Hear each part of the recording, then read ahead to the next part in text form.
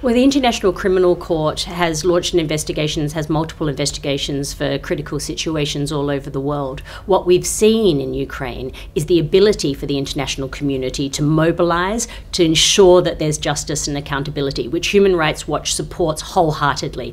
But the bar has been set very high through the Ukraine response, and we would expect the same type of response moving forward for situations such as Palestine and Afghanistan uh, and other situations of such seriousness all over the world.